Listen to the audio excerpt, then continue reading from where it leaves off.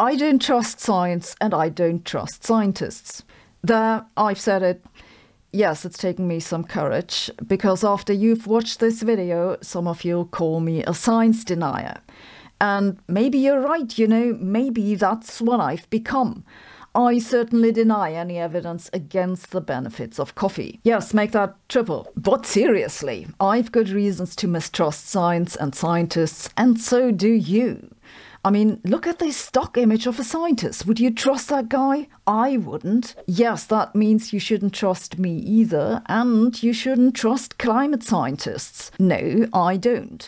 And that's what I want to talk about today. Some of you have been following me since approximately the Mesozoic era, and you remember that I've been highly critical of research in the foundations of physics. I've literally written an entire book about it, back then when people still read books in the Mesozoic era. Today we do 10 minutes YouTube videos, so to make a long book short, most of what physicists do in the foundations of physics today is pseudoscience. It's paper production with no scientific merit that teaches us nothing about nature. It's mathematical fiction, multiverses, tales about the origin of the universe and invisible particles that no one ever finds. But that in and of itself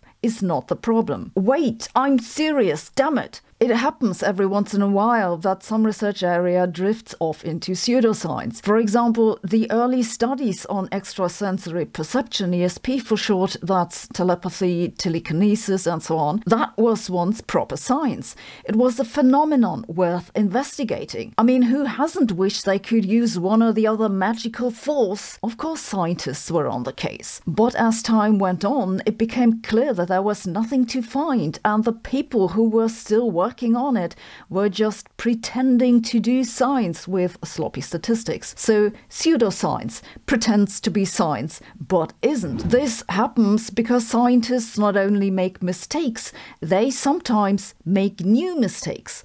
And if that happens, the scientific method itself needs to develop to demark the new mistake as pseudoscience.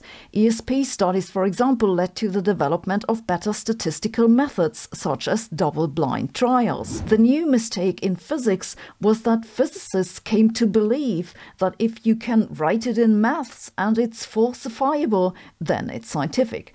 Unfortunately, it's the other way around. If it's scientific, then it's falsifiable. Now, if you make that mistake, then suddenly all kinds of nonsense ideas become scientific, and that, in a nutshell, is what happened in the foundations of physics. But the problem isn't that parts of physics drifted into pseudoscience per se, because this happens every once in a while in the natural evolution of the sciences. The problem is that it hasn't had any consequences. We've recognized the problem with ESP studies, chucked them out of universities, and updated statistical methods to prevent that from happening again. But physicists have been inventing unobservable things that no one ever finds for half a century and are still happily doing it, believing it's proper science. And if it can happen in physics, it can happen in other disciplines too. That's why, after I finished writing my book in 2016, I began to worry that climate change was indeed a hoax. I can't blame people for looking at the foundations of physics, concluding that much of it is obviously bullshit, and then saying, well, see, you can't trust scientists, they're just making up climate change because are worried about the exact same thing. I haven't talked about this because I'm afraid that this'll just give some people another justification to question science. But I've come to think that not talking about it just makes it worse. It makes it look like we've got something to hide. If you mistrust scientists, you're not alone. A recent study by members of the Strategic Council of the US American National Academy of Sciences found that about 80% of those polled say scientists are competent and trustworthy, but the remaining 20% doubt scientists' motives. They doubt that scientists will stick with science science when it goes against the scientist's self interest, like access to grants or other financial support. I think they have good reason for this doubt. Indeed, the pursuit of self interests, mostly financial stability, is what's driving the problem in physics. It's baked into the current organization of the research system. The vast majority of scientists I know are not doing research to get rich. If you're interested in money, you do something else, like getting born rich.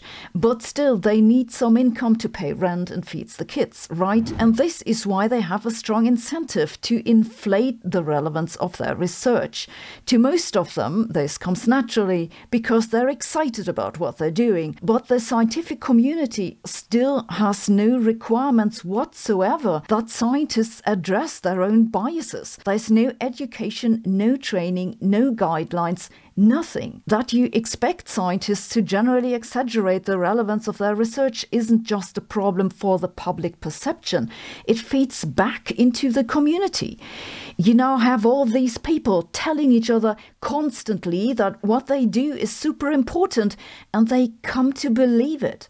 It's a classic example of what's called social reinforcement. Yes, same spirit that keeps flat earthers going. And is the same thing going on in climate science? Of course. Does that mean that climate change is a hoax? No, it's worse than that. I'm not a climate scientist, and I swear I have no aspirations to become one, but I've spent a lot of time trying to understand the basics, read a lot of papers and textbooks, and attended seminars and talked to climate scientists, etc. I'm not asking you to trust me or anyone really, but I found no major reason for concern about climate science. Is the climate changing? Yes. Are we causing it? Yes. Every other option for what could be causing climate change or the denial arguments that you've heard have long been ruled out. It's the sun, we're coming out of the little ice age, cosmic rays, and so on.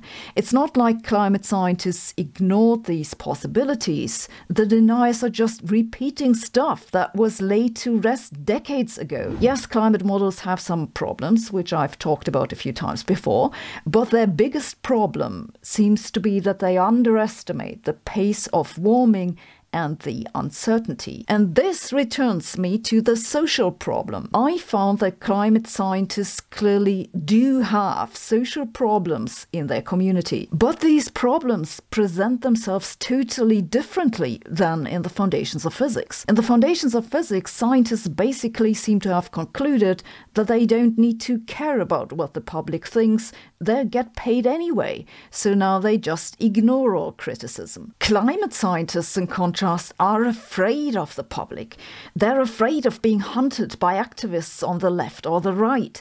They're afraid of having their privacy being violated and of being quoted out of context. They're afraid of being called alarmist. They're afraid of being harassed by climate deniers. They're afraid of being dragged into decades long lawsuits because these things have happened and continue to happen. And honestly, I think that they're afraid isn't entirely a bad thing because it makes their arguments much more careful and watertight. But it does create a problem. It introduces a bias in their arguments. They're afraid of being called alarmist and they're afraid of giving anyone reason to dismiss their conclusion, and that creates incentives to make the situation look less scary and to underestimate uncertainties. It's right that you shouldn't trust climate scientists, but the conclusion from that isn't what climate change deniers want it to be. It's not that climate change is a hoax, it's that it's almost certainly worse than the impression they raise. So, whom can you trust? Trust no one. What you can trust for the most part is data, maths, and logic. At least on the physical sciences, and I count climate science as physics, it's incredibly rare for data to be wrong or fraudulent and for that to remain undiscovered. It happens, but it's rare. It's likewise rare that maths or statistical analysis is just wrong and for that not to be criticized or corrected. Indeed, the problem in the foundations of physics is not that the data or maths is wrong, it's that they have no data and the maths isn't about anything in particular. And finally, there's logic.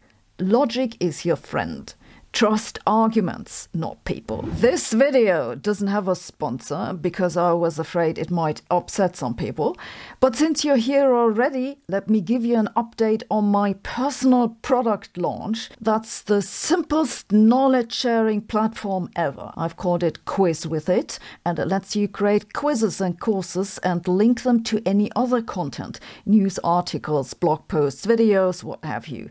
You can embed them into your own website or newsletter or as a card on a video. If you want to, you can monetize your content and users can collect points from taking quizzes. The quiz creation is free and will remain free, though we do have some premium features because my software developers don't work for nothing if you see the problem. We now also have a comment feature and a small but growing community. I'm excited to be starting something entirely new and I hope you'll join us. Thanks for watching. See you tomorrow.